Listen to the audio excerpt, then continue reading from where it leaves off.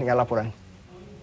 Bismillahirrahmanirrahim. Terima kasih kepada rakan-rakan penyampai di Angkasa Puri. Saya teringat bagi Rasulullah SAW pernah bersabda bahawasanya bertakwalah kepada Allah dan untuk bertakwa kepada Allah lakukanlah kebaikan mengatasi kejahatan. Jadi ini merupakan salah satu daripada elemen ataupun instrumen yang perlu untuk sama-sama kita lakukan bagi mengatakan tidak kepada keganasan dengan melakukan himpunan aman, himpunan yang menuju ke arah perkara-perkara yang positif dan ini ditamsilkan dan juga diterjemahkan melalui perarakan dan juga perhimpunan aman yang bukan saja melibatkan uh, seluruh masyarakat ataupun umat Islam tapi juga melibatkan penganut-penganut dari agama lain. Dan sedang berlangsung di pentas utama sekarang ini kita sama-sama menyaksikan ucapan dari wakil penganut agama Kristian untuk turut sama-sama menzahirkan rasa kesedihan dan juga sokongan terhadap kedamaian dan juga keamanan yang diinginkan di tanah air bukan saja di Malaysia tetapi juga di seluruh dunia. Dan juga antara ucapan dan juga pengisian yang sempat saya uh, sama-sama kongsikan bersama dengan anda uh, beliau mengatakan bahawasanya sememangnya perbezaan itu perlu kita raikan. Tetapi untuk kita meraihkan perbezaan itu adalah untuk kita memberikan penghormatan kepada setiap bangsa yang berbeza identiti, ras dan budaya dengan memberikan tamsilan ataupun cerminan yang lebih baik dengan rasa hormat dan juga tidak uh, meletakkan keganasan itu sebagai asas ataupun ras untuk kita melahirkan rasa kebencian dan juga api kebencian itu yang semakin marak dalam diri masing-masing.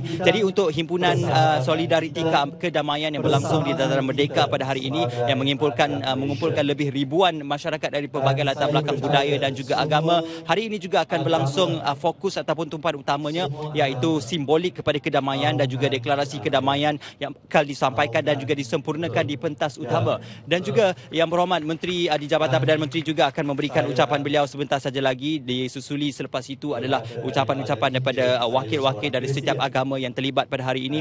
Dan juga uh, ucapan ataupun sedikit rasa yang ingin disampaikan oleh uh, wakil ataupun uh, waris ahli keluarga bangsa yang terlibat dan boleh kita imbas kembali di Christchurch New Zealand telah pun mengorbankan lebih daripada 50 nyawa dan seorang rakyat Malaysia atas tindakan uh, seorang ataupun beberapa orang yang digelar sebagai pengganas. Dan ini telah pun dikecam di kabinet New Zealand apabila uh, menterinya dan juga masyarakat di sana turut memberikan sokongan dan juga turut menyampaikan rasa kekecewaan dan juga kesedihan terhadap perkara yang berlaku di Christchurch New Zealand itu. Dan di Malaysia sendiri kita menzahirkan rasa kesedihan dan juga kekecewaan itu dengan melaksanakan perhimpunan aman yang telah pun diberikan kebenaran oleh pihak polis Diraja Malaysia untuk melaksanakannya pada pagi ini sehingga pada pukul 11 pagi nanti untuk sama-sama mengumpulkan seluruh masyarakat bagi memberikan pengertian yang lebih bermakna kepada himpunan aman solidariti kedamaian. Dan kalau kita bercakap mengenai keamanan dan juga kedamaian, saya teringat piagam PBB ataupun UN Charter pernah menyebut keamanan itu mengikut artikel 4 dalam PBB UN ataupun UN Charter adalah merupakan hak yang perlu dihormati oleh setiap masyarakat untuk memberikan kedaulatan kepada setiap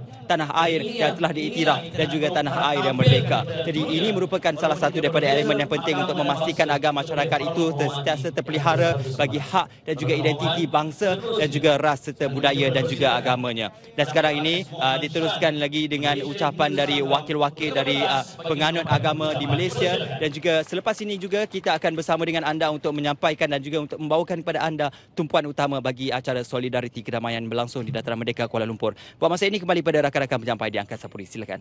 Sanctuary of Our Good